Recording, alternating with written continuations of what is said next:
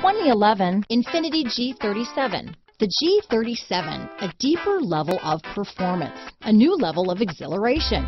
The car is blistering quick, yet returns 21 mpg overall. This vehicle has less than 65,000 miles. Here are some of this vehicle's great options.